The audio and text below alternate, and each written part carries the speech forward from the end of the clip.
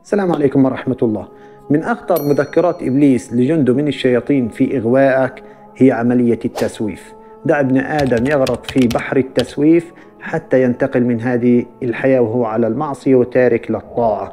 فهذه المذكرة اللي كتبها إبليس لجنده من الشياطين هي دفعك إلى تأجيل القيام بالطاعة ودفعك إلى تأجيل الإقلاع عن المعصية والتوبة. فأنت مثلا إذا كنتش تصلي وجيت بدك تقبل على ربنا سبحانه وتعالى بالصلاة وكان الوقت وقت عصر أو وقت مغرب فبيجيك إبليس ما دامك بدك تصلي بلش الصلاة من بكرة من الفجر. خلي اليوم من أوله تصلي. ما تصلي لا عصر ولا مغرب ولا عشاء. وإذا كان مقبل على رمضان وجيت بدك تبلش في الصلاة قبل رمضان بشهر مثلا فبيجيك إبليس للتسويف وتأجيلك عن الإقبال على ربنا سبحانه وتعالى بالصلاة. فبقول لك أنت بعد شهر رمضان جاي بتبلش في رمضان الصلاة من أول يوم في رمضان. بتفتح صفحة جديدة في رمضان مع ربك.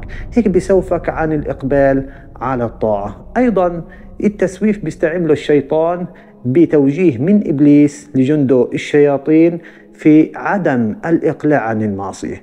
مثلا إذا إنسان بيتعامل بالإقمار يعني بيلعب الإقمار وأجى بده يترك هذه الذنب أو هذا الذنب. فبيجي إبليس بيقول له وبيجي الشيطان بيقول له أنت خسرت كل هالمخاسر. آخر لعبة العبها وعوض اللي بتخسره وبعدين تترك. شفت إيه كيف بيشتغل معك بيسوفك عن التأجيل. فبتلعب لعبة وبتخسر وتاني وثالثة ورابعة. وبتم تأجل بالإقبال على ربنا سبحانه وتعالى.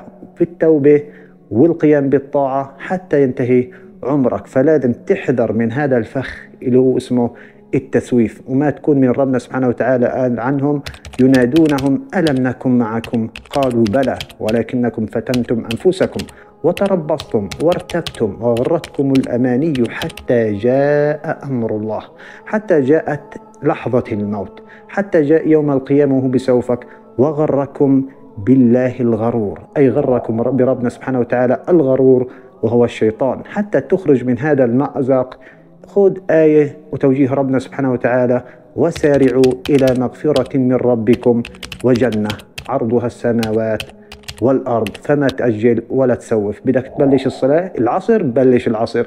تقولش من أول لنهار من بكرة وتقولش بس تيجي رمضان بفتح صفحة جديدة. افتح صفحة مع ربك سبحانه وتعالى في هذه اللحظة مباشرة.